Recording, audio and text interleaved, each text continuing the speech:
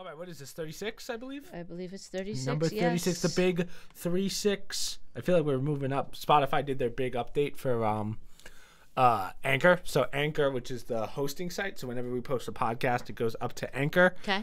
and then um, Anchor sends it to Spotify. Spotify was like, you know what, we'll just partner with you, so it's a lot easier now. Hmm. So now all of our statistics are on there, which is very nice. And, Interesting. Uh, that way, it's just a nice seamless merger. So 36 and on should be a little more seamless for us in the uh, uploading process. But besides that, You say us like I do it. You actually upload. Yeah, I do all the work. I do all the hard stuff. Unless you're working, and then I have to push the button. yeah, if I'm not here, I go, Mom. I'm pivotal. 4:30 upload. Pivotal. There we go. Um, so uh, mom's gonna take the reins on this one today because yesterday, two week, two things this week, two big news. Tucker Carlson uh, released his January 6th stuff, which is a big deal. I mean, that's one thing, but honestly, I think the bigger one, and I, I shouldn't say bigger, but one that's a little more has a little more effect on the country, I would say, might be what happened yesterday with the um, Silicon Valley Bank. So, for those of you that don't know, uh, one of the biggest banks in California, definitely, I think it's the number 16th bank, went under, which is a big deal. And I, what saddens me about, I mean, internet nowadays is, and I think again, it's a small majority or minority, I guess is the right word, but they don't really take this seriously. You know, they're like, oh, I'll just pull out my three hundred dollars in that bank account. Right. But you don't understand. People aren't understanding the ramifications of when a bank closes down. So last night, my mom gave me maybe one of the a very good description of what happened. As my mom, as for those of you that like don't, know, think. yeah. Uh, actually, I don't think. Have you ever given your background as a bank? Like, I don't even really. I'm just a mom. yeah, yeah. But what did you do for? For work? Yeah, when you came out, like Before the- I had you? Yeah. you, why do you say it like that, mom? You ended it all and crushed my dreams? Right, really, right. Just because people, when you when you talk about this stuff, I realize people don't realize that you have like a banking background. yeah, but they'll set me up for like, they're going to think I was like the CEO of a company or something. oh, here it comes. Wait, you She's mean a that- lawyer. yeah.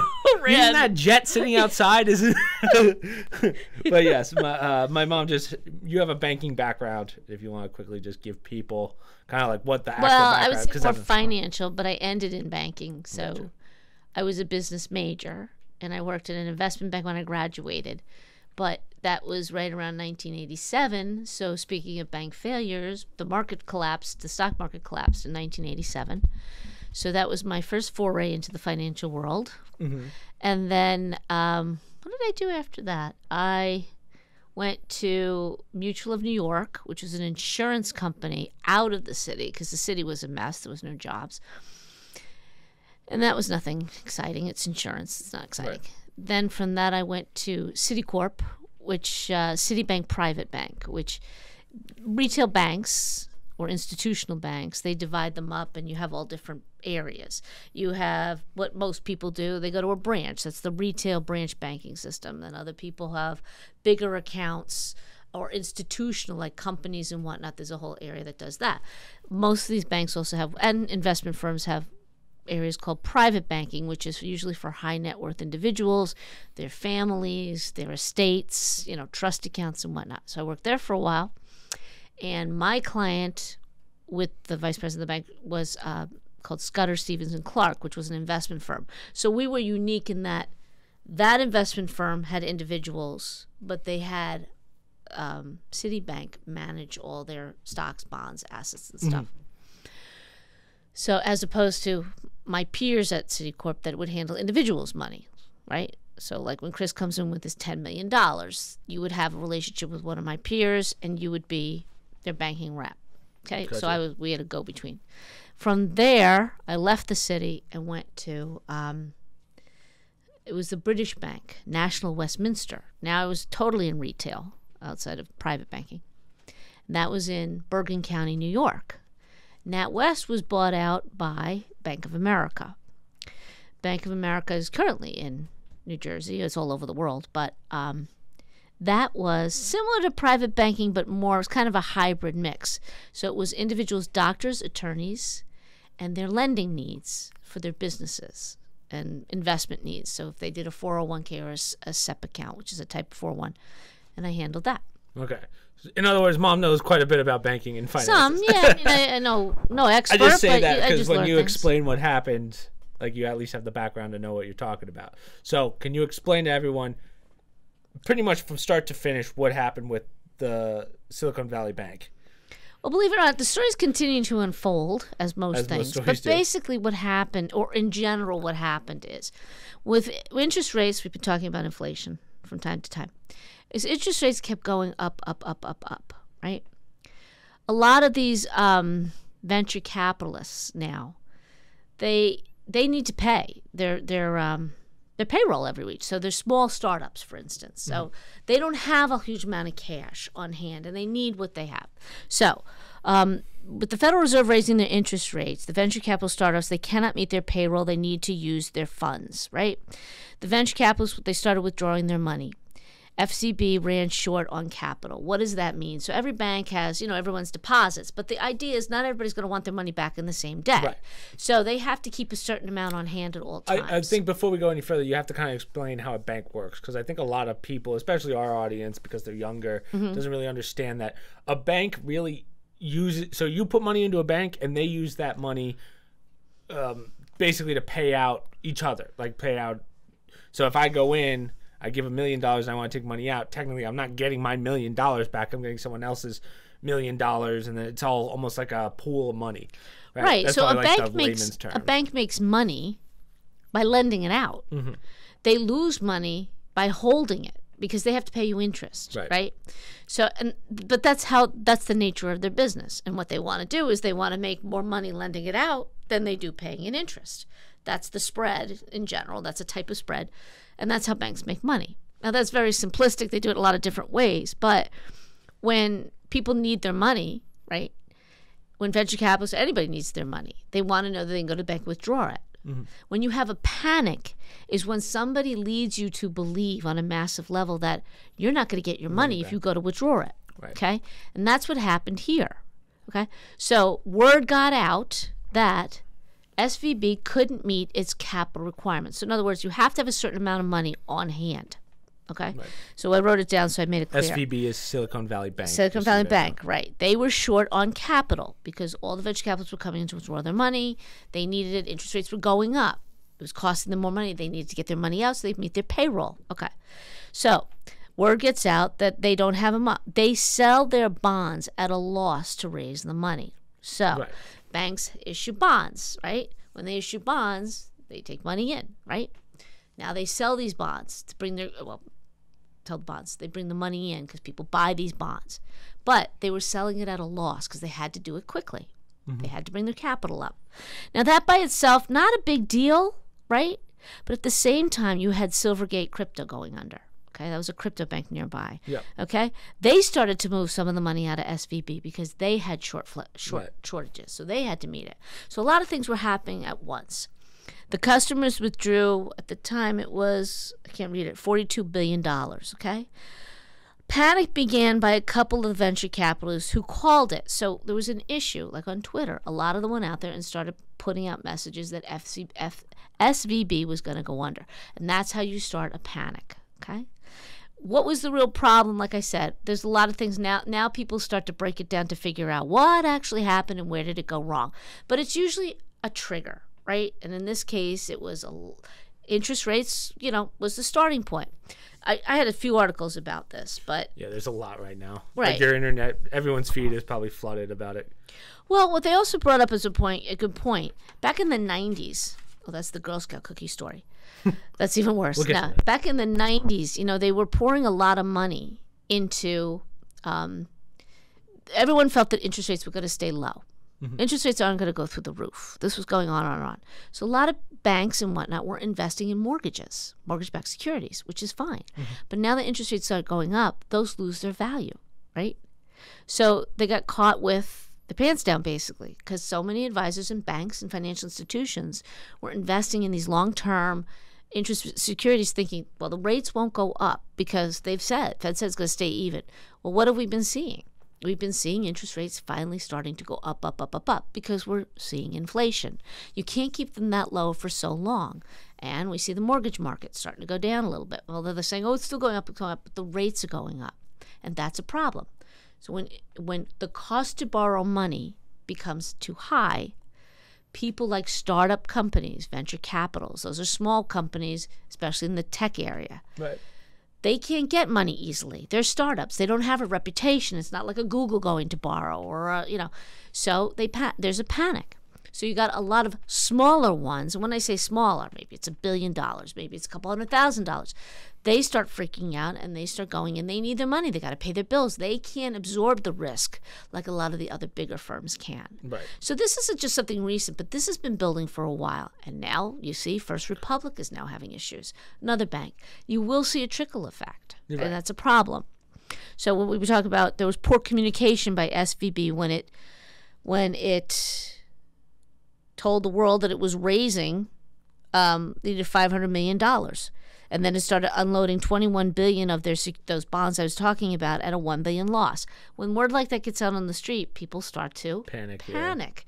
So they tried to keep everybody calm and say, "Look, it's not a big deal. We have to do this. We have to bring our capital up. We have a little Right. glitch." Is this technically normal in banks then? Like, does this is this like a normal situation that just got brought to light and everyone panicked? I won't say it's normal, but obviously it can happen. And we talked about this earlier. It happened in 2008.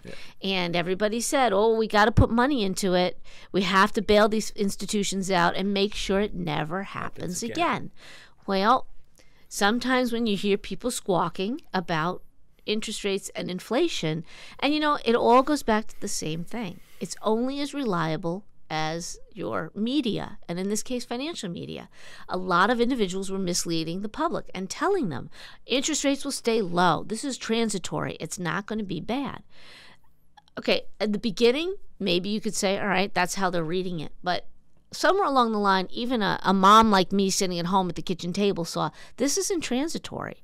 And you'd hear a lot of other, not as popular um, financial pundits saying, go to the food store, Mm-hmm. check out the price of eggs. Inflation is here.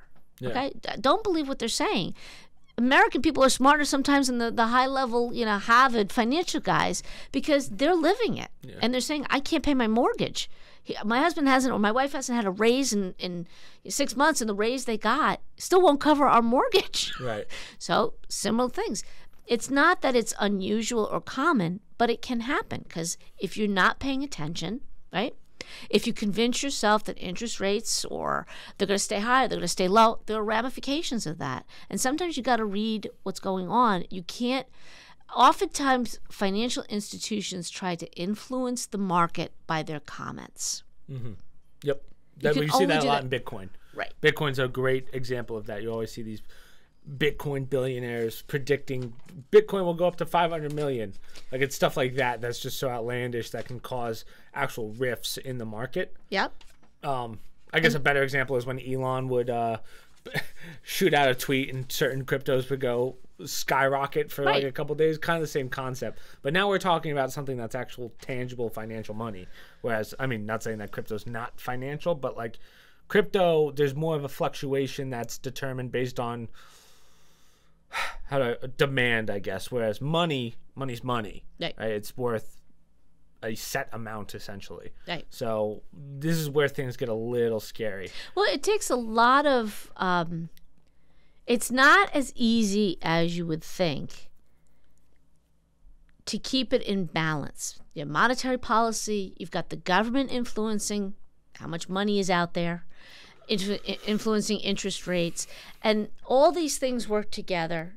Then, you know, a hurricane could set off a market, and that's uncontrollable. But when you're trying to balance all these things, it's hard enough than when you're trying to do it politically and say, well, let's not let people know that inflation's so bad.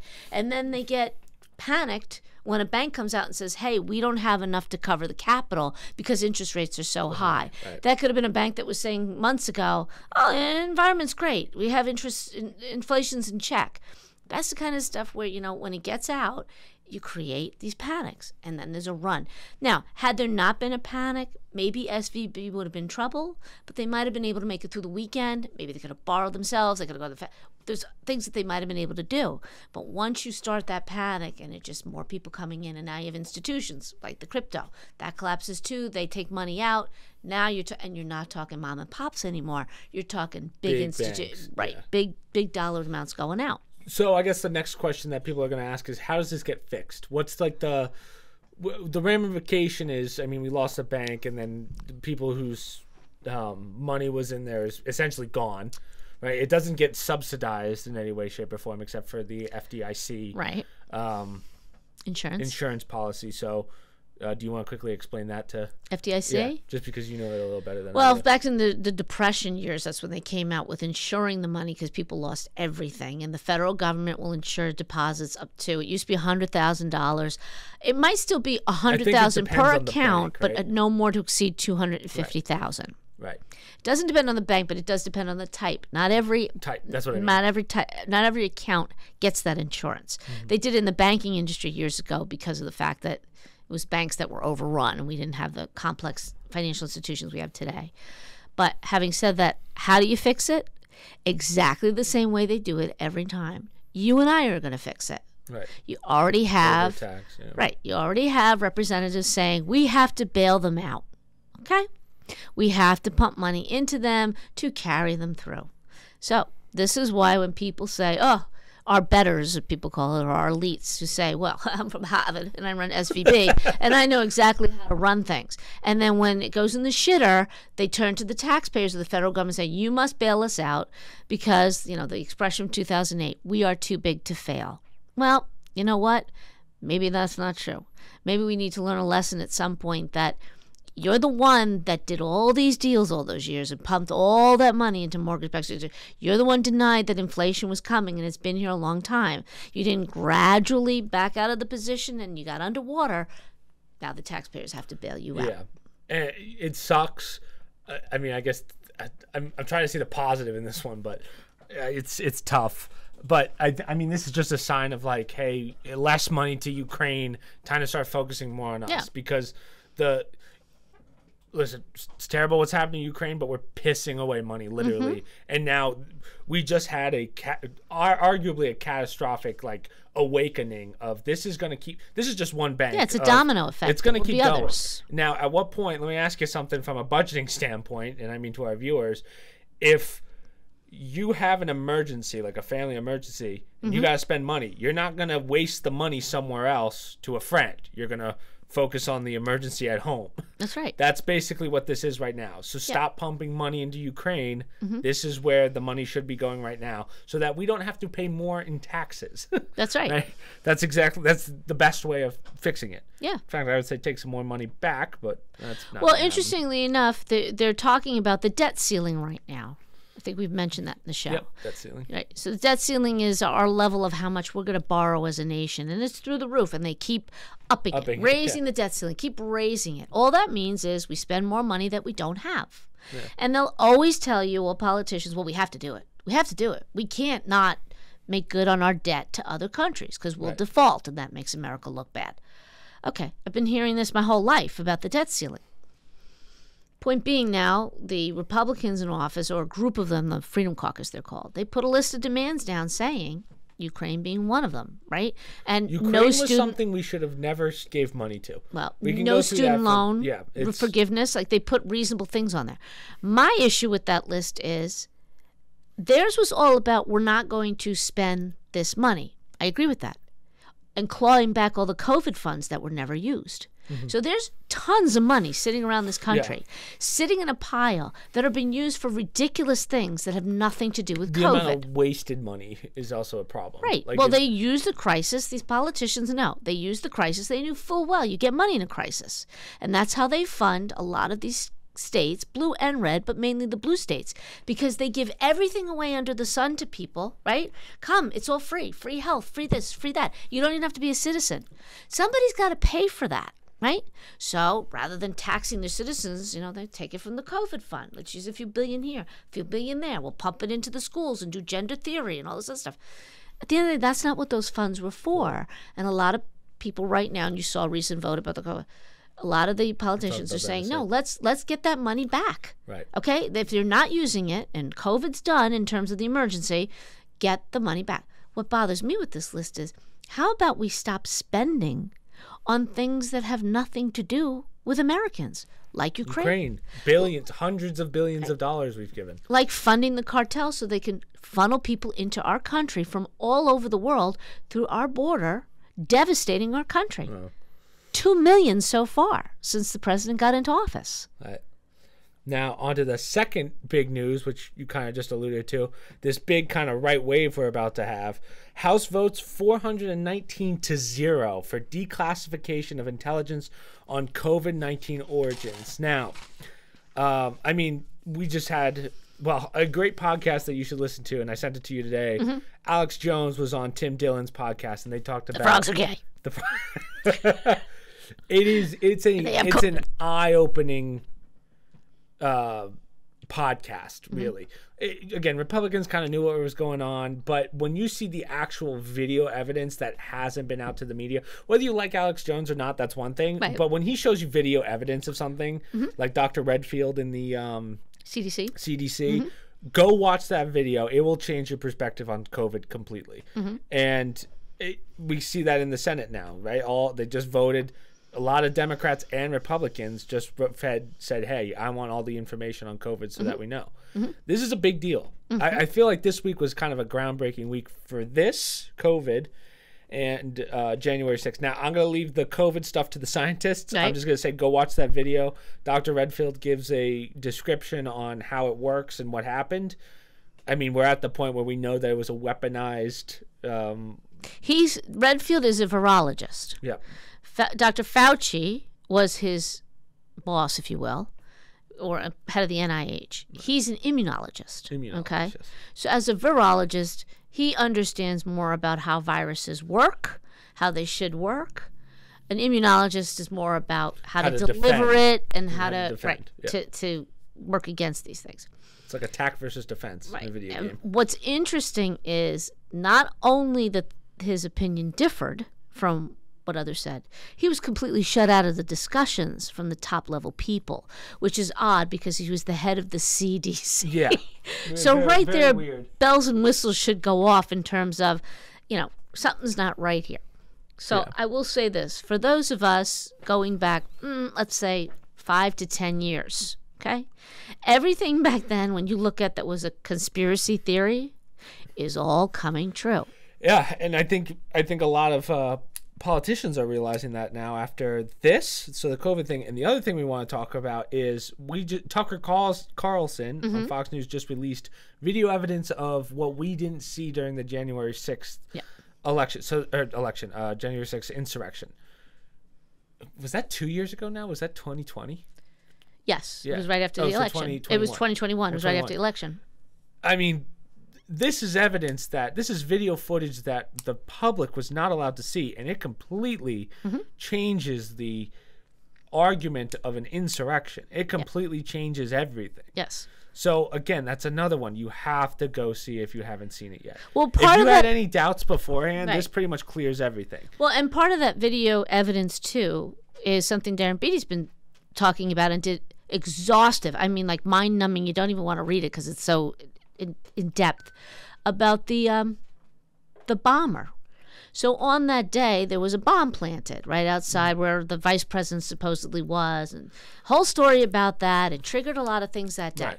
Well, uh, again, that's There's one video evidence there. We, we we've seen that video evidence. They're still looking for some of it because they won't release it. I- I'm going by again. That might be true. I'm just going by what we definitively saw that is now circulating on main media Mm-hmm. Yep. because it's gotten so big that they can't stop it. Right.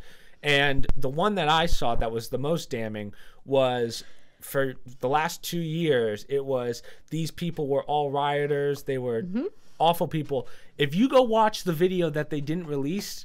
The guy, the Mm-hmm. Shaman. head, the shaman, the QAnon Shaman. I forget his name. Chan- He's saying, "Hey, we're not going to video evidence. So there's no YouTube can't demonetize us for this because this is video evidence now, Mm-hmm. and I'm gonna leave it in the video. Th- there's no, there was no, the whole media that CNN and even Fox News at the time was telling us completely wrong. That guy should not be in prison. That's right. After what he did. Given, I, I guess the law is you're not supposed to be in that building at all unless authorized. So I guess that's the legality. But it's usually a fine. It's not four years in prison plus he was whatever. escorted around the building by By police. police, officers. There are video. so to say you're not Yeah. allowed in the building, you would have thought one of those police officers, yeah. they would walk him escorted him around the whole building, Yes. escorted.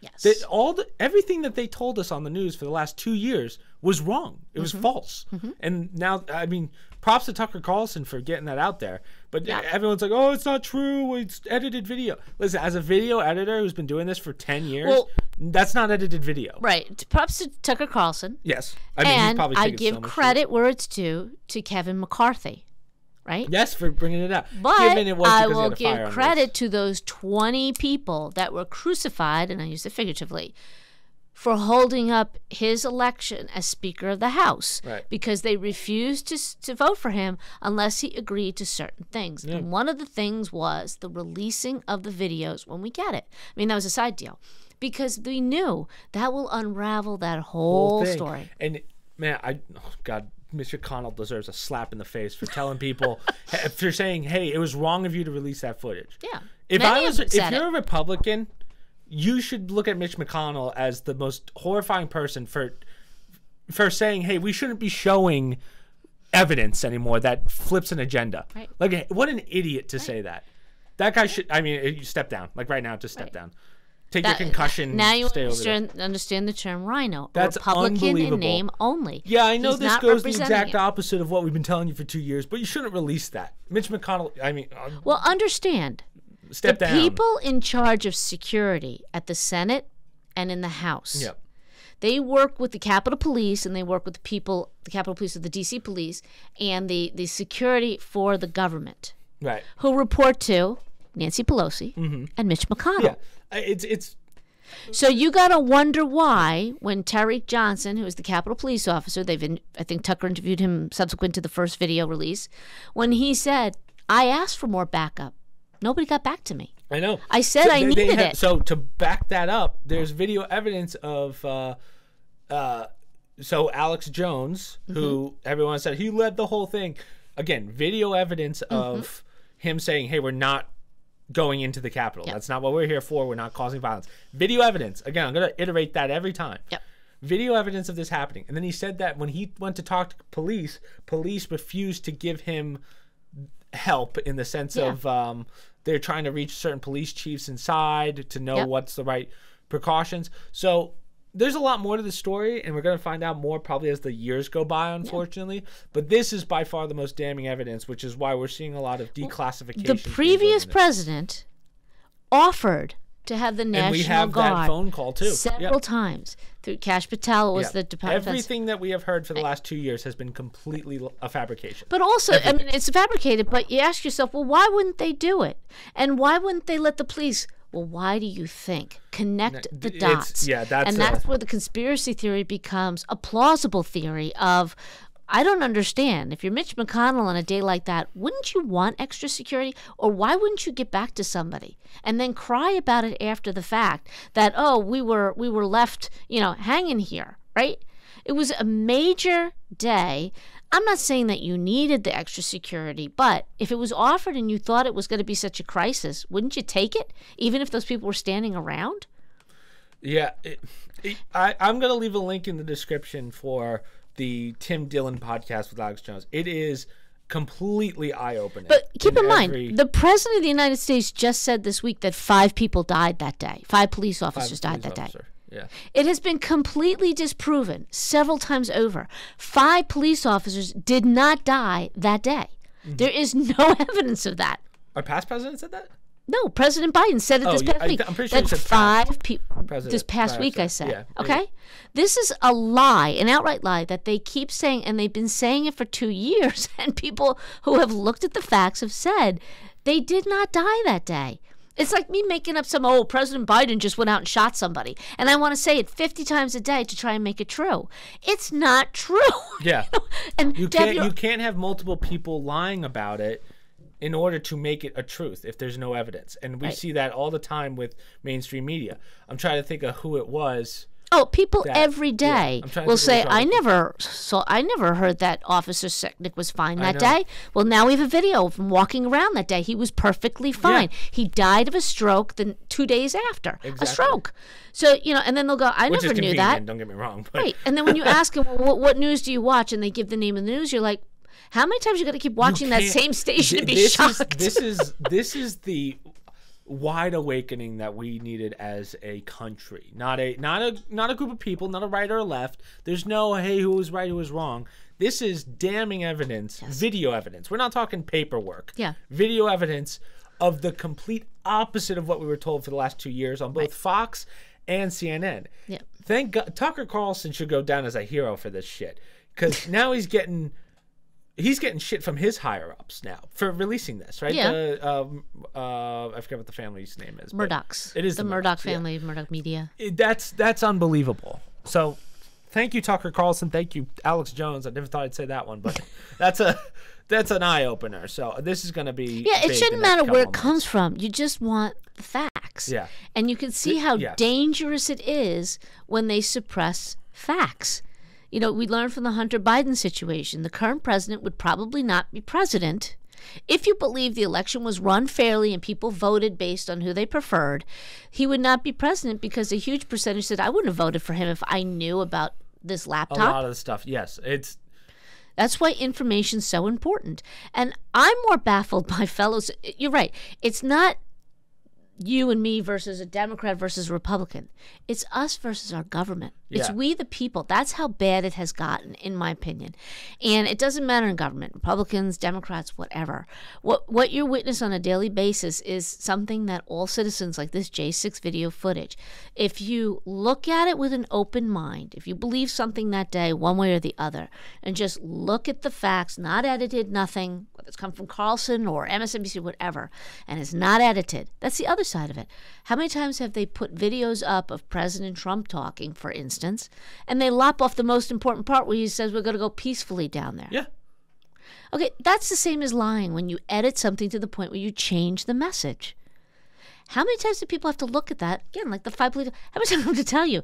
Five believers didn't, didn't, didn't die. They'll still watch the same news, get their information from It's the same unbelievable how stupid Right. some people. Again, you can't fix stupidity, Yeah. but at least you can freaking look in other places. Like for the love of God, Well, or you don't censure me because you don't like what I'm I'm saying, saying, yeah. and you're saying I'm lying when I'm not. That's the problem. You know, if you think you're right, show me the facts. They they can't. If I think I'm right, I have to show you the facts. right? Um, I see you have a lot of stuff about the SVB, but I Well, uh, I pulled SVB, different articles yeah, about it to go it's into all about more. the same. Yeah, I didn't know how So much you want to talk wanna- about it. I didn't want to go too too deep because I feel like we covered a good portion of it. But I do want to talk about kind of an a, another big part of why the Silicon Valley Bank failed. Um, a lot of the Silicon Valley big companies moved uh, out of California. Great example of this: Elon Musk is planning to build his own town in uh, Texas, so around the new Tesla. Um, Tesla Town. yeah, Tesla Town. That's what I hope he calls it that. That'd be sick. But uh, basically, this is a neat idea. So he bought 3,500 acres of land and is going to put more than 100 homes on uh, that land. I hope they're nice homes. Any waterfront? Yeah, yeah, yeah, yeah. How nice are these? Can they be sold? But this is We're really currently cool. in the market. It's nice to know that after all the shit that uh, he's been going through the last, what feels like a year now over Twitter and Tesla stock, at least he can still afford to do this and give these people housing, which is really nice. I think that's really cool. But I was wondering, what's your opinion on this one in the sense of the social aspect of, excuse me, live, uh, everyone living kind of together? Because I don't know. I don't. These are all his employees living together. It's mostly employees, uh, different levels of employees. I don't know if it's main homes or like apartment style, but Mm-hmm. it sounds like what he wants to do is uh, he wants to do all these housings, but it's not like per family housing. It's like, hey, we can fit 30 people in this building, 30 in Mm-hmm. this one. Um, so kind of, kind of like small apartment style. Mm-hmm. Now, I, I always think of uh, like when we went my great grandmother's uh, place and how the only people you kind of know are the people around you. You know what I mean? Yeah. So it's like, hey, what'd you do today at work? And it's like, oh, work for Tesla again. I always wonder what the social aspect of that is Um, to Uh, it doesn't say much about the actual area, in the sense of how far are they from a gym, how far are they from a. I'm trying to find the first one. Um, oh, I can't remember the name. We learned about it all when we were in history class. So, uh, when America entered the Industrial Revolution, mm-hmm. right, or started it, Yep. they had a small factory, and it was I thought it was in Massachusetts, but it was definitely near a river because it was river run, powered by the river. And a lot of people left the farms to go work at this factory. Right. They needed a place to live. So they built housing near it so people could walk to work. Well, now people living there, they need to go get food because they can't hunt anymore. They can't grow it in their backyard. So stores sprang up.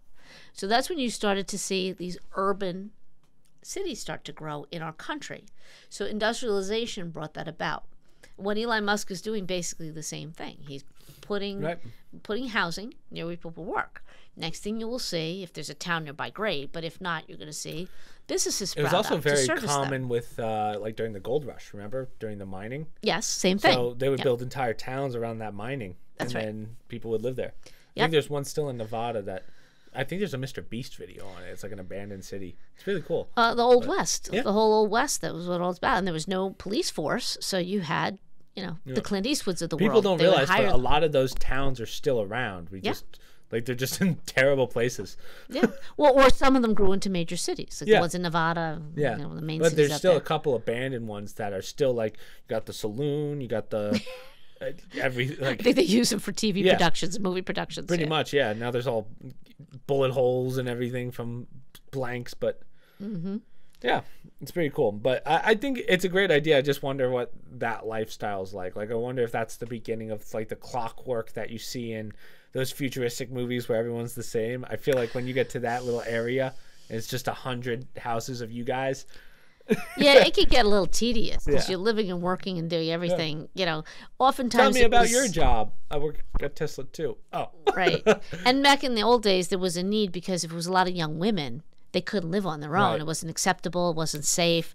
So you needed like a community. Nowadays, you know, a lot of people don't want to live, work, eat, and everything with the same, you know, yeah. group of You people. got you got to do more than just stay in your little bubble. Right. You want to get out and, you know, it can get pretty, pretty tedious. And also, you're making the assumption that only one person works. Yeah. Doesn't help if this if your spouse works and they don't work at Tesla. Now they got to commute to wherever, Yeah. so they got to make it cost effective for My, them my take other guess is that it's not made for permanent living. Like I think these people have other places to go. It's usually for like, uh, I mean, uh, primarily it's probably the main workers like in that area. So Yeah. yes, they can live there. But like when executives come who are in different states, I think. It's Oh, so it's going to be that type of housing? Yes. Oh, so it's kind of a come and go apartment style. oh, I'm sure the hotel industry out there is thrilled about that. Oh yeah. But hey, if he owns the land, there's not Yeah. much they can do about it. So yeah, it's not like he's building on their land. it's true. Um, what else? What else? What was your other one? I know you had another one about. Well, I had a science. Well, I have two. Go ahead. The rare Chernobyl dogs. Oh, You know about okay. Chernobyl? Yeah, of course. Okay. Chernobyl was in Ukraine.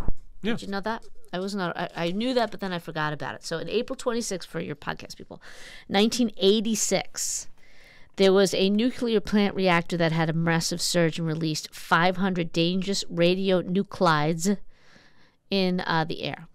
There's a great series on HBO called um, Chernobyl.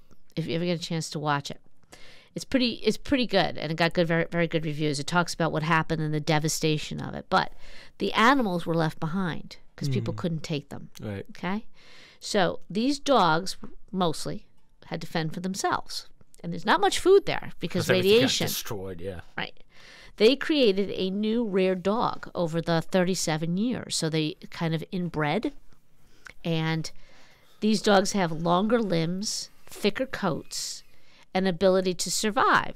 So it's interesting. Um, their genome is also different, which makes sense. Radioactivity in the area, what they're eating, and whatnot. But they built up an immunity to the radioactivity. They're able to survive. They're not quite sure how. Now, maybe the first few generations were very weak. We don't know, right?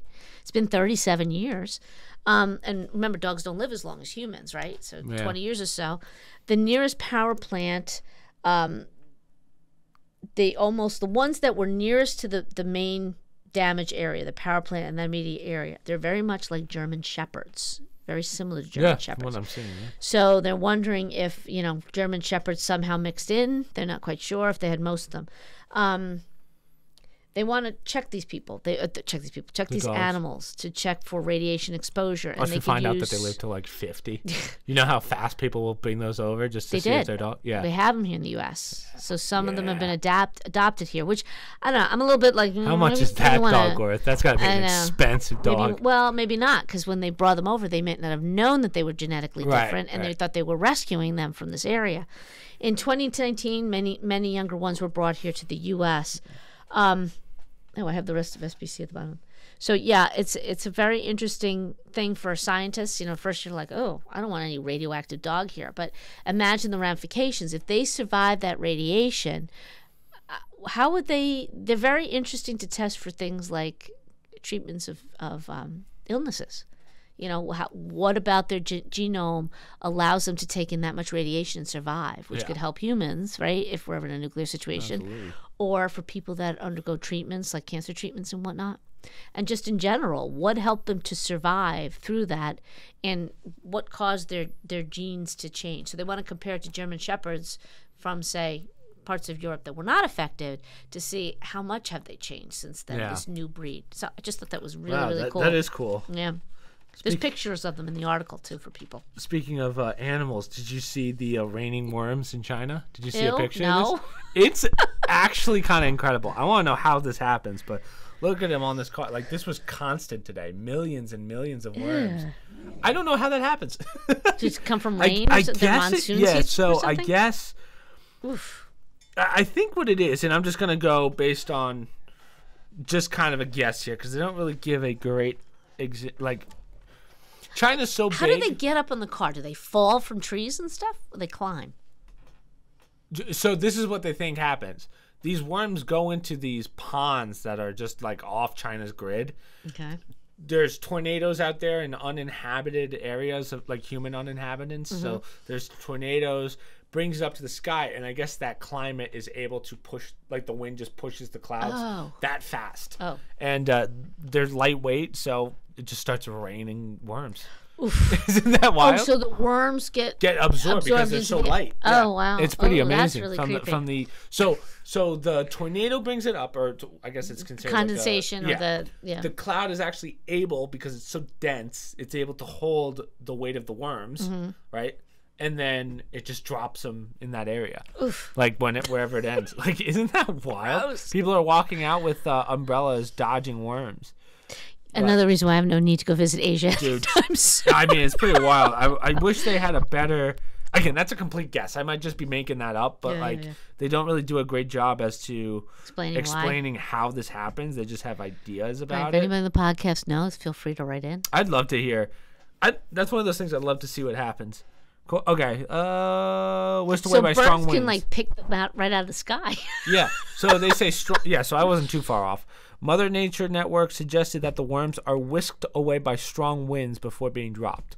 So I guess they don't really get carried, but it's just that the winds are so strong Wow. they'll stretch miles and miles Yeah. until it gets to a major city. Because I don't know how it would land on a car. They can't crawl up that. No, yeah, it literally comes from the sky. Literally raining worms. God. That was we really have cats and dogs. They have worms Yeah, over there. exactly, exactly. It's raining cats and dogs. it's Um, raining worms. What other little news do I have? Bird I have heaven. Anything interesting? Oh, I thought this was cool. Vinyl outsold vinyl CDs or like vinyl Yep, records. records. s- Outsold CDs for the first time since 1987. You know, I see the vinyl when I go to the stores. I'm like, what the heck? People are listening to vinyl records. You know again. what it is? I, I had to think about this. There's something about the cover art that people like Yeah. a lot more than the CDs, and also vinyl. Like nowadays, the record players have gotten so good. Yeah. That you can't really tell a difference. I remember uh, my friend Mel. You remember Mel? She was Yep. Mm-hmm. at our house that one time. She had a vinyl record player Mm-hmm. that she could put records on. It sounded just as good as any speaker. They make them now Bluetooth Yeah. able. You can put them up on any speaker. So, um, yeah, I mean, some of those are kind of bullshit, right? And when you put the Apple phone in and it just plays, there's a difference Oh, oh. a speaker and a record player. Okay. Hers was an actual, like, modern day record player that would, um, if I remember correctly, it's been like six years since I've seen it, but if I remember correctly, it was just a giant speaker. It was built like an old '60s version, like the old model ones, even earlier, but it would still play modern day music through a record. It was really nice Yeah. to hear versus like a crappy CD. Like Well, CDs aren't that good because they don't advance those anymore. We don't need CDs. And some people like the imperfections in the vinyl recordings, like it makes it Yeah. more realistic. Yeah, but then you hear like a if you hear a real vinyl, it sounds like shit. Yeah, it's like Yeah. It's Yeah. terrible. So I if I that. heard it, my whole youth was vinyl. Yeah. we grew It's up with fun, that. yeah. Yeah. So, but nowadays I think they're just so much better because there is a certain art to that. Whereas with CDs, I mean, we don't even use CDs anymore. Most computers don't come with CD drives Yeah, it's true. or disk drives. So they they stopped doing the advancements. I don't know what you would use a CD for. We were anymore. watching. Uh, uh, Dad put it on last night very briefly. The uh, Fleetwood Mac yeah, talking about one of their albums from ages ago. You can go your own way, and the guy doing the. Uh, I guess the synthesizer, whoever the, the producer was who records the music with the board that they use, Right. Can I tell you, they sounded like crap, like a high school Yeah, band. And when he terrible. starts working those dials and stuff, you're like, wow, I could have been a recording star with somebody like Oh that. Oh my god, you they gotta see. So difference. this is I'm gonna get a lot of crap for this on like TikTok or whatever, but I've seen so many clips of. Actually, that's a good topic we could talk about. But uh, I see a lot of clips of how these TikTok musicians do their music, and it's all just literally hand manipulating Yeah. every audio bit. So in other words, they have no. Uh, okay, I'm gonna make an exaggeration here, but they don't really have that much talent, if any. Right. They just sing and then they like however bad it is, Right. and then they just alter it. Now I'm not saying there's not talented people on TikTok, but I would say it's a lot easier to pretend to be a great musician or singer Yeah. now than it has been ever.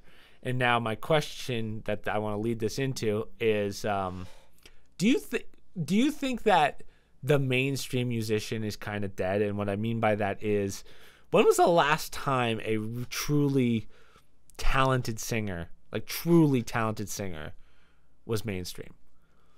Like a new singer, you know what I mean?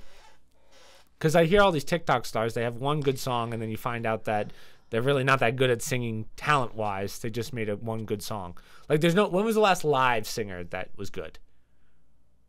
Not Rihanna, we know that. yeah, that wasn't got good live. songs. Yeah, Um, I would say well, Lewis it's, Capaldi. it's very maybe, interesting because you had like Christina Aguilera came out at the same time But they had the as Britney talent. Spears. Yeah. Well, that's what I'm saying. They had the talent to sing. No, no uh, let me let me say that. There's a difference between Christina Aguilera and Britney Spears. Mm-hmm.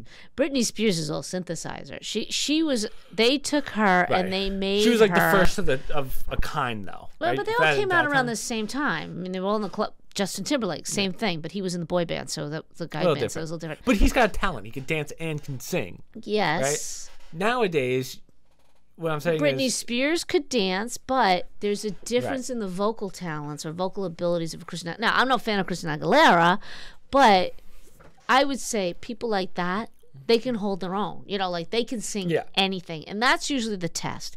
If they can come out and sing any type of music and do it well, like Lady Gaga. Right? Yeah. Never a big fan of Lady Gaga, but I'm impressed by she's her a, she's a talent. She can sing. right. sing. She yeah. has a great ability to to sing any type of song, and she branched out and started doing it. Unfortunately, they start with the d- disco, dance, pop, blah blah blah stuff. Right.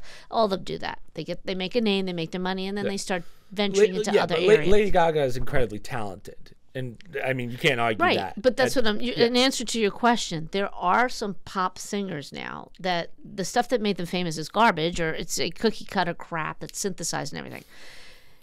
That gets them a name, and the music produce, production companies they know this. They package these people if they're semi decent and they've got the right face, right look, whatever. They package them. They put the synthesizers in. They get them a good producer. They give them some music that other people write, and Right. they become a Britney Spears. what, what I'm saying is I don't think that works anymore. Right? I can't think of the last person unless you're truly talented, which again I also don't think we've had in a while. I think the last one was maybe either Lewis Capaldi uh, or Well, I think Ed Sheeran's very talented. well, yeah, but he's been around for a decade. At Oh, I, well, now. I don't Yeah. know the most current You know, I what do couldn't you tell- mean? but- Somebody brand new? Yeah, How but have, brand new? but there's a lot of people that have like one hit song and then you never hear of them again. oh yeah, that's always right? been around. One hit wonders. Yeah, one hit wonders, of course, but at least they had a talent to actually like they could sing one song, maybe. I don't know, not all of them. Yeah. Some of the one hit one- wonders were. yeah. You know. But they also had, but I guess what I'm saying is they had usually those one hit wonders had at least something to bring to the table so that they can at least get a record deal or something. Nowadays, like these TikTok kids, since completely fabricated, well, and there's yeah, so that's, many a, that's now. a whole different world. Yeah. But yeah, like the 60s and 70s, if you were any kind of musician, even a one hit wonder, you had to stand on your own because you didn't have the mechanical stuff you have today. Mm-hmm. You had to perform on a stage at Woodstock or wherever, right? And you just brought your, your guitar and you sang in your band. Nowadays, yeah, the the one hit wonders, you know, yeah. it's a synthesized kind of they can doctor it they can do whatever they want to start to make you able to perform but I, I i you know a good singer when they perform live and, or and when they can do other people's music Yeah. and it's I can't tell. I'm not going to name any names, but there's one famous TikToker. I, I would say famous, but definitely a verified artist. Has unbelievable songs. Right, gets on stage terrible. right. Mm-hmm. Yeah, So no, yeah. so it's that edited. You go oh, now Yeah. again. My definition of terrible might be different from someone else's, but I think most people who see this will agree. Like, hey, this is not what I've been seeing for the last year on TikTok. And then you go on a live stage and, and like.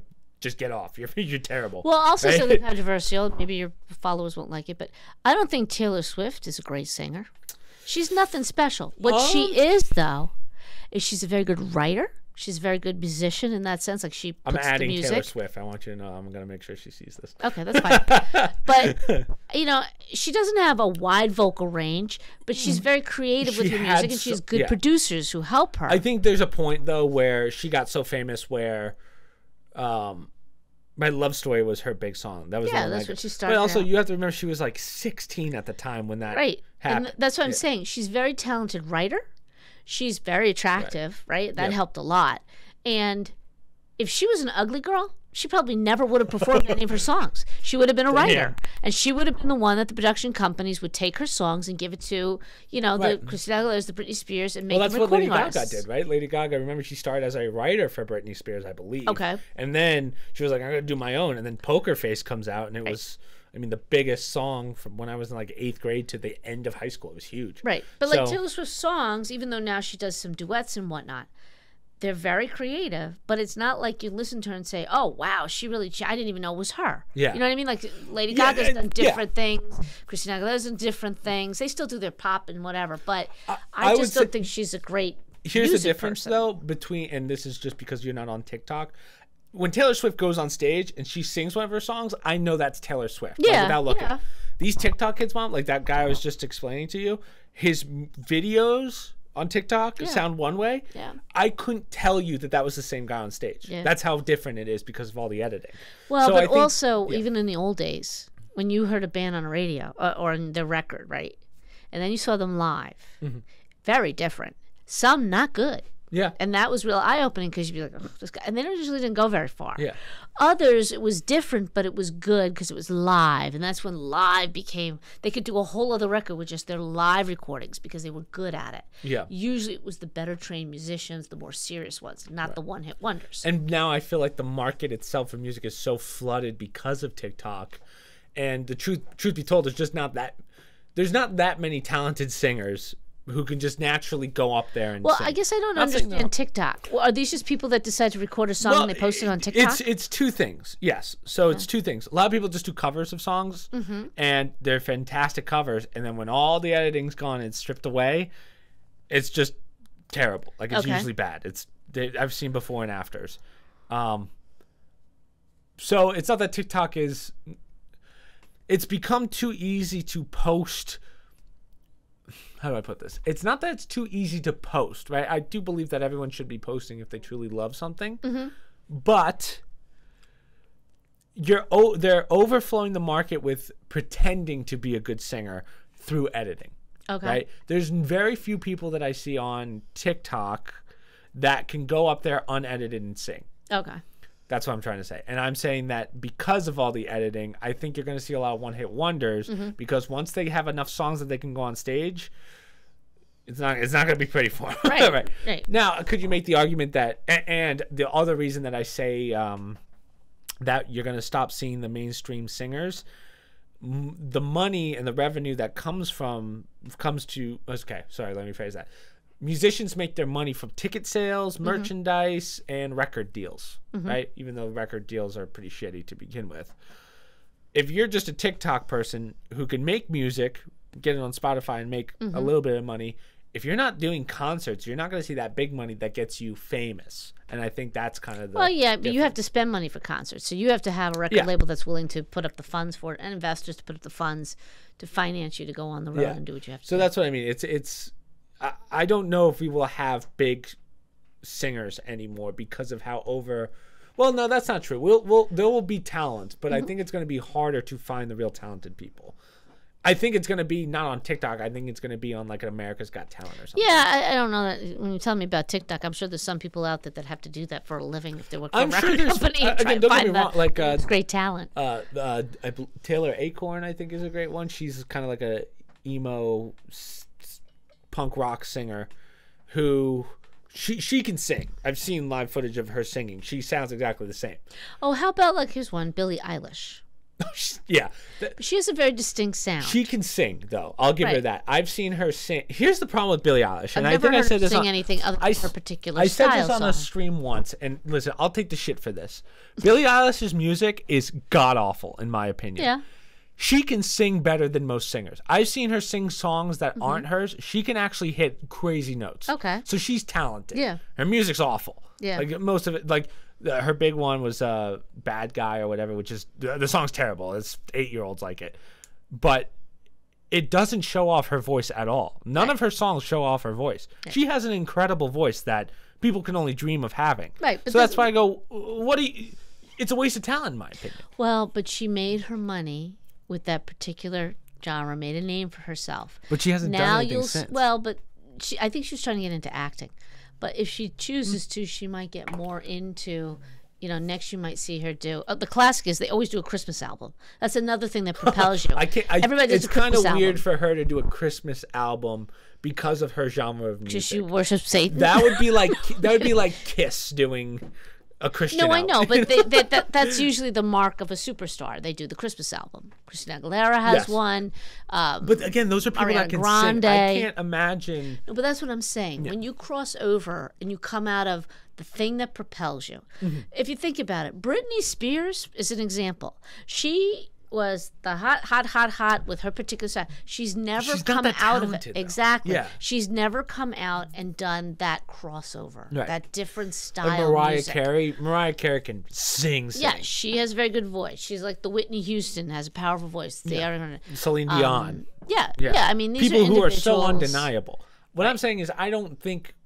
I think it is too hard now to find someone undeniably talented because of the oversaturation of the Well, market. I, I think it's the opposite. I think it's too easy for garbage. The talent, the It's- yeah. talent is out there. It's just you're flooding it with a lot of garbage, yeah. That's fair. And somebody's got to feed through all that. But the only way that, that. you're going to be able to sift through it all. find the real talent is the person that can get on stage and sing, not the TikTok kid that edited the shit out of a song to make it sound good, which you see more often than Well, not. right, but that's how it's always been. So you know, uh, uh, all these music production, it's like um, sports talents. They send people out. They go to nightclubs. They go to, all over. They do word of mouth. They go to places and they see Oh, uh, people perform, You mean um, and they sign them to record labels, right. and they bring them in, and they, you know, they have hell- scouters? You mean? scouters like for sports. Same thing in the music industry. They do it constantly, and people send them tapes or Yes. recordings or whatever. So it's it's they don't necessarily have to go to TikTok. Right. I don't know why people Well, would waste time on TikTok out of their if they're very good. If they're not good, you go on TikTok Right. because nobody's listening to you. Yes, that's what I mean. So, and then what happens is they they're not good, and then they edit the crap out of it to make it sound good, right? Right. So maybe if they're that good, a production company, if they don't know better, may say, "All right, come on in, we'll have you sing," or send me a demo without anything. They'll ask for a specific type of song, and they'll weed them out right away. They don't Yeah. even contact them back because there's just too many people they have to. I, I mean, hear. Ariana Grande is another example of someone who was so talented and no one knew it, knew it until she started singing, and everyone was like, you're a better singer than you are an Right, actor. that's right. So She that's what I mean. out and then she- Undeniable talent. I don't think you'll see that anymore. The biggest TikTok star to come out in the last like year or two is that kid, Kid Loudry or whatever. He did that song with Justin Bieber. He's not that talented. he can sing, I guess, but he's not like a talent. He's like a rapper, like a sort of Right. pop. But the, you know, it's it's easy to say, but I, I do believe that we there's always talented people Yes. being born. but I think it's gonna be harder to find them. Well, I don't know because there's more avenues to do it. it. There's a lot. It's not harder to find them. It's just that, like I said, there's a lot of garbage out there that Mm-hmm. crowds it out.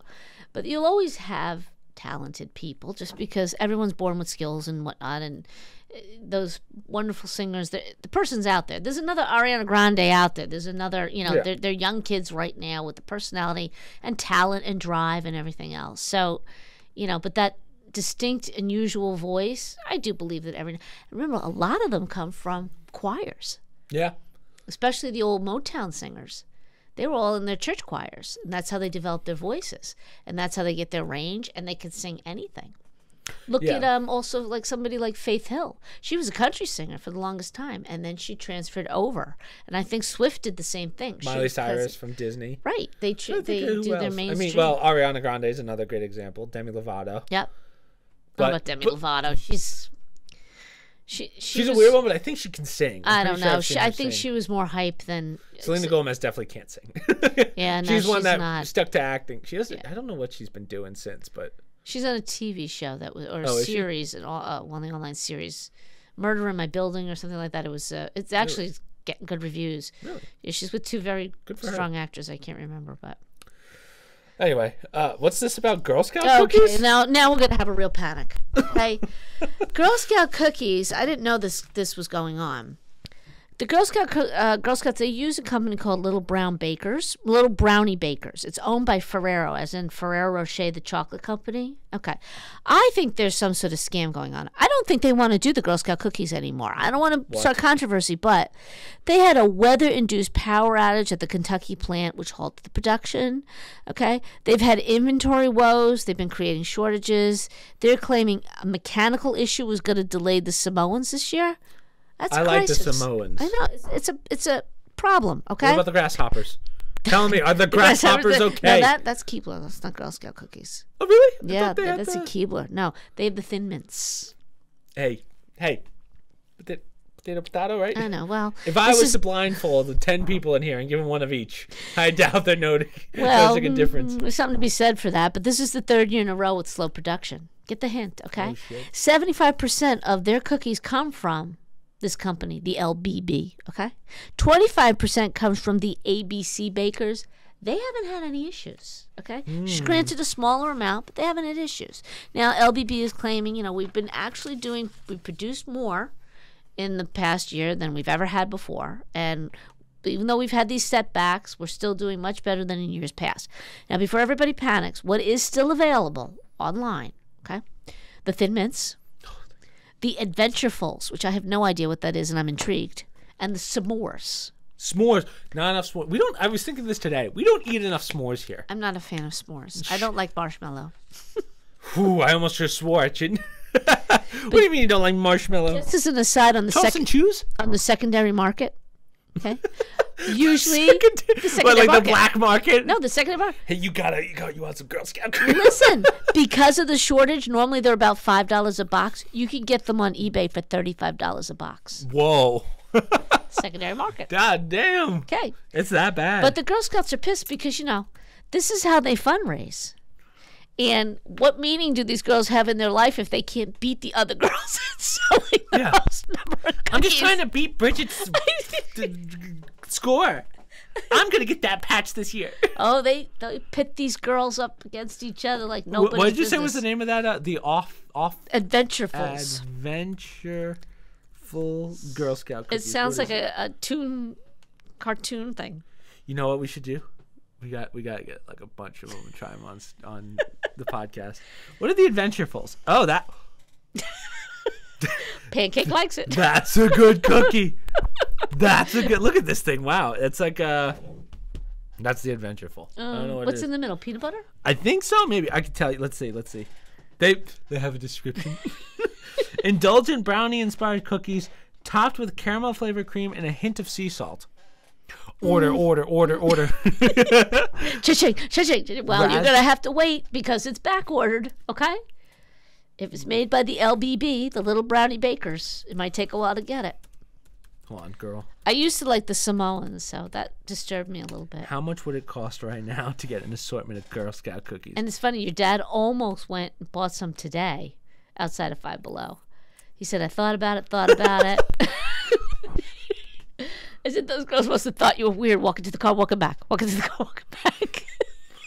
Ooh, m- might have to bite the bullet on this one for 60 bucks. Mm. Girl Scout cookie cases, 12 boxes for 60 bucks? You sure that there's a shortage? I was going to say, let's do Another run on SVB. People might- take the money out to buy the do Girl this one for. We might have to take the any donations this week will go towards this the Girl Scout cookies for next week just Yeah. to try them out. But We're going to weigh 500 pounds on this podcast. but it's worth it for those goddamn Samoans.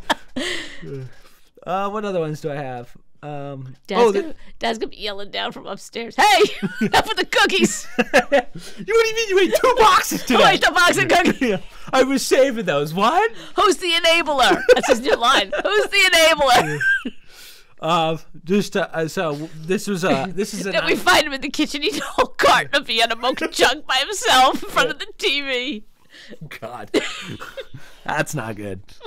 Um, so this is. I, we But we should- love you. We should start another new segment called "I called this," because this is another one I called last podcast. Right? Scammers are creating fake GPT and Bing crypto tokens. Remember, I Uh, said yeah, this was going to yeah, happen. yeah. So. Again, I'm like an oracle at this point. uh, so yes, uh, scammers are now trying to do exactly Speaking of what I said.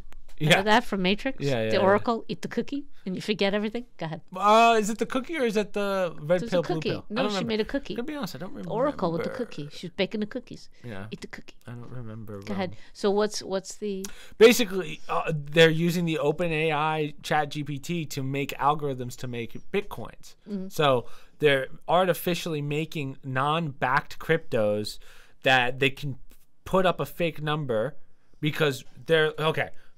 Let's get into software real fast. So when you when you create a Bitcoin, it has to set the number of what the price is going to be for it. So you do a set price.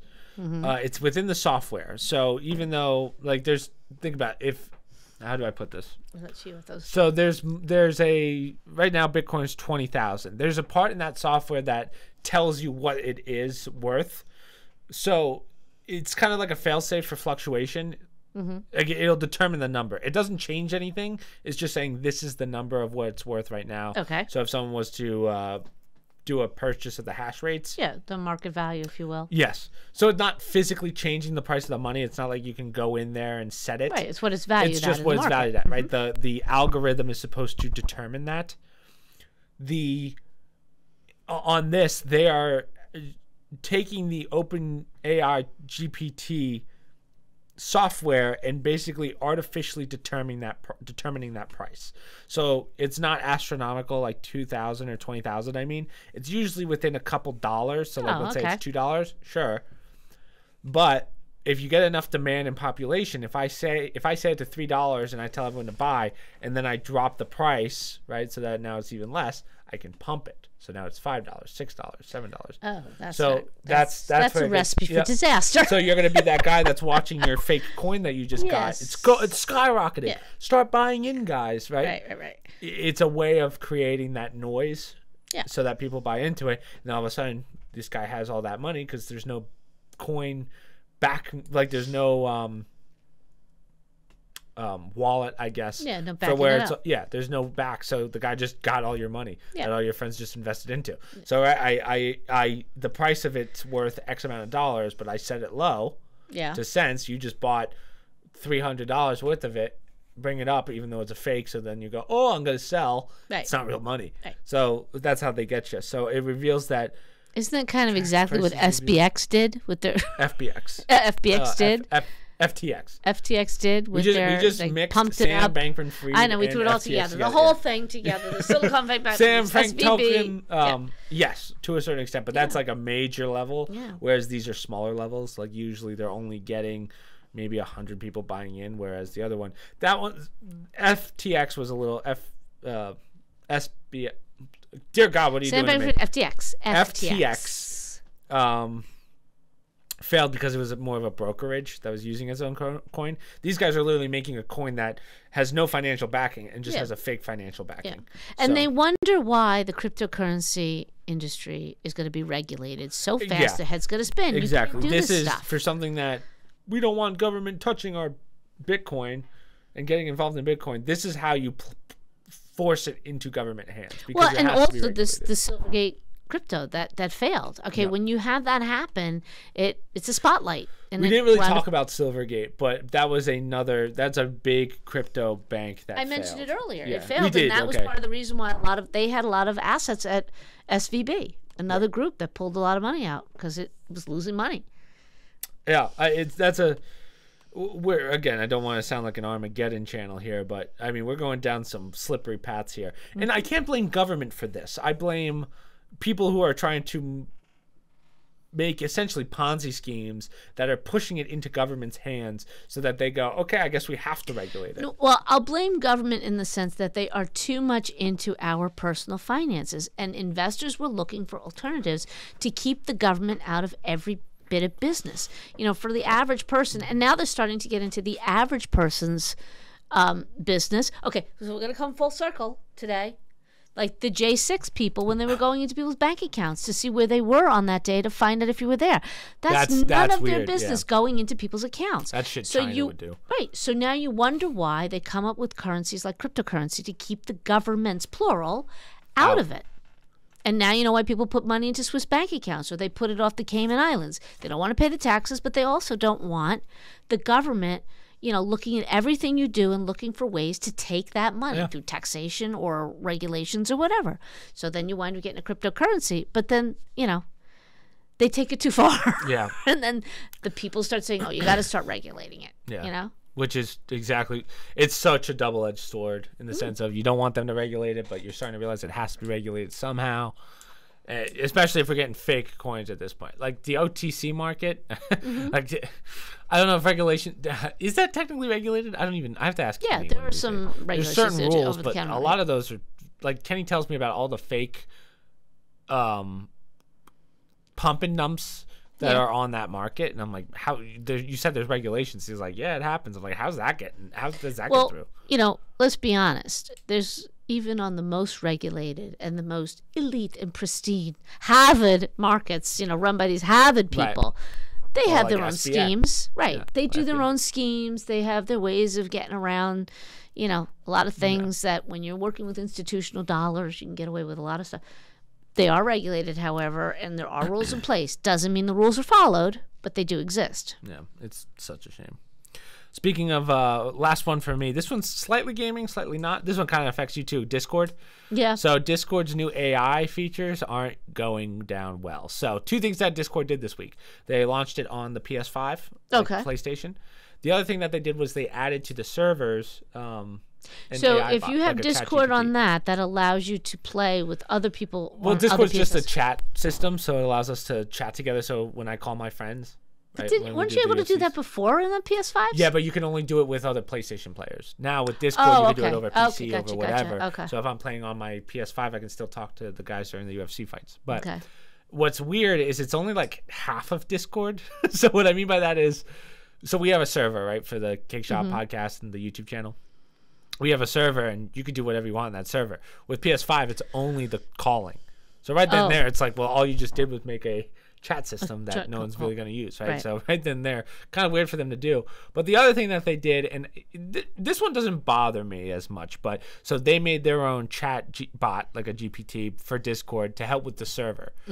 Now you can do it. There's a couple reasons that it's nice. So for us, it's nice for regulations. Like if you don't have any mods, we're not a big enough Discord to really bother with moderators. So people who can pay attention to the chat when I'm not paying attention. So if someone posts something like super racist or something, Right. uh, usually a moderator will go in and take that person out, but this bot does that for us, Oh. which is a good feature. Yeah. Right. If it is, but they're like, hey, do you want us to spice up conversations? Do you want to like they want to get too involved? Oh, in yeah, see? It's hmm. like we don't need all this. That's right. Now, I also don't feel like the features that an AI bot does is anything too special compared to what I can just do. Right. I don't know any Discord server, even the massive ones, that are doing that many big changes that you need a specific AI for it.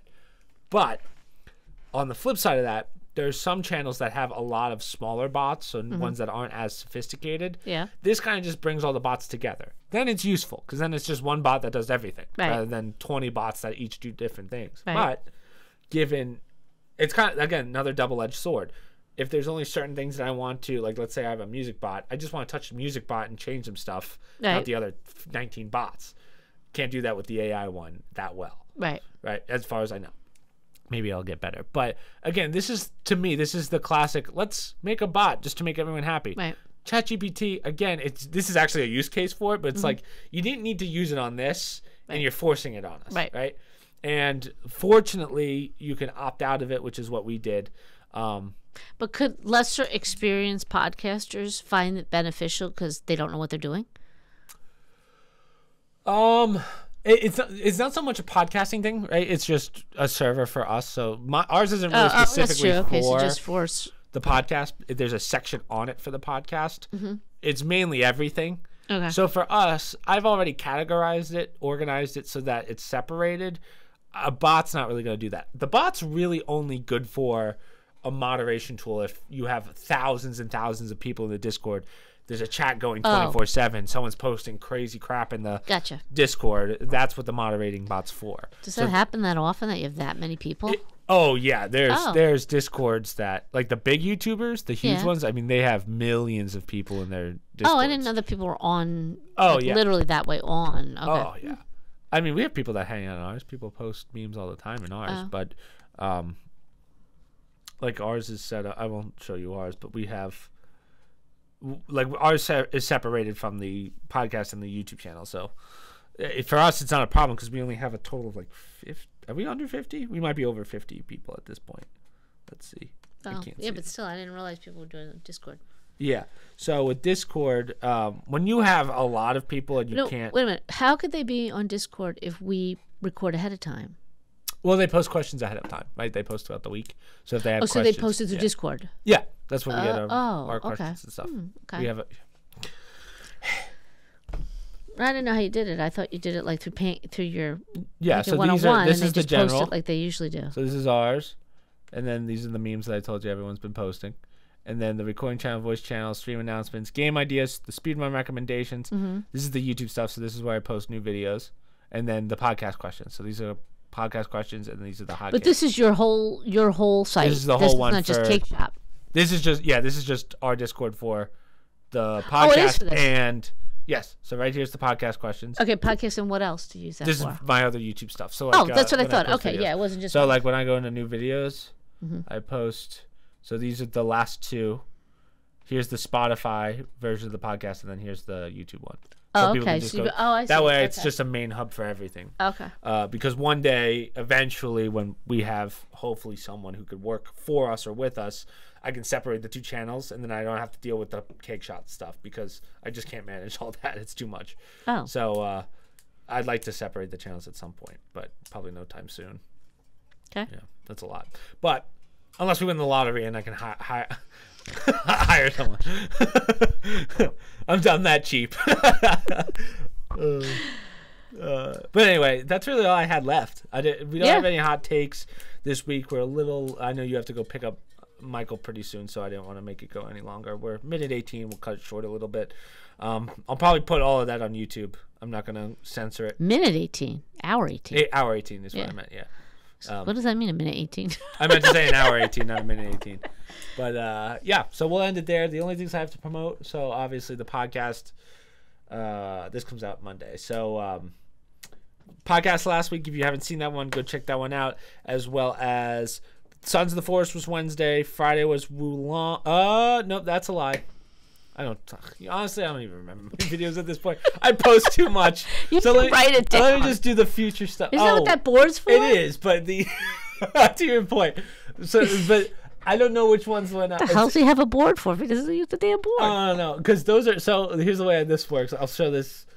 Maybe I'll send a picture and post it in. But the way it works is the one, two, three, four, five, six, seven. Yeah. Those aren't like the order of videos. That's the slot. Like that's the file that it's saved under. okay. So that's literally how many video editing files I have for Okay. videos. So it's not actually in the order. So I know that. but you got two freaking boards too. Yeah. Yeah. what do you need? A third like board? that one's for like um like Your thoughts of the day? yeah essentially. uh, this is the speed ones. This one I know because this one's in order. So I know that tomorrow Sunday, uh, um, Prince of Persia: Sands of Time comes out. That's the speed run. These I don't remember. So I think. You, They haven't changed. That's oh wait, I'm there freaking last looking week, at right? it. Yes. The Action Forest. When was Sons of the Forest? Clips. Oh, wow, that was last week. Oh wow. Incredibles that were not so incredible. I I redid that speed run and I actually did it a decent time. I Oh. only lost the. Oh, so it wasn't because they were not incredible. It's because Oh, you were I not suck. incredible. yeah, I had so many problems. I had to do a restart midway through. I did so poorly. I was like, oh god, this sucks. And uh, man, I, I, I, you know, it's funny not to go off on a tangent, but when you realize how much of an improvement video games have gotten over the years, like Mm-hmm. not even from like a actual graphical state, but like the controls were just so bad. Yeah. Like uh, the the last ten years, when you see a game now versus ten years ago, Mm-hmm. it's a big advancement that we've had. But um, Yeah, we can't solve famine in the world, but we can improve Yeah, the yeah, gaming process for the I was kids in the world, in the Western on- world. Yeah, yeah. But Priorities, people. Priorities. let me restate that then. So on Wednesday was Wo Long, that came out. Yesterday was the escape room for the new escape simulator game that I did. And then uh, the podcast was Monday. So this comes out Monday. Tomorrow, so Sunday will be Prince of Persia Sands of Time speedrun. And then Wednesday, I actually have an idea of what Wednesday is, but I'm not sure yet. There's a lot. My schedule is Wednesday's. Bobo's birthday. I know it's Pup's birthday. Big day, big day. But yeah, um, so we'll end it there. Again, don't forget next week to post any questions or hot takes in the chat in the Discord. And, Shout uh, out to Happy too. Yes, our dog. Ha- oh, Shout out about on Yes. Wednesday. She's a big day. Yeah, She's gonna do well. Our, our uncle's dog's getting a big well. surgery, She'll do well. so yeah, she'll be okay. But other than that, we'll end it there. Social media down below, promo codes down below, other stream links down below, uh, Discord down below, as I said, and hopefully we will see you guys. I'll see you guys at stream, and you'll see mom next week. So.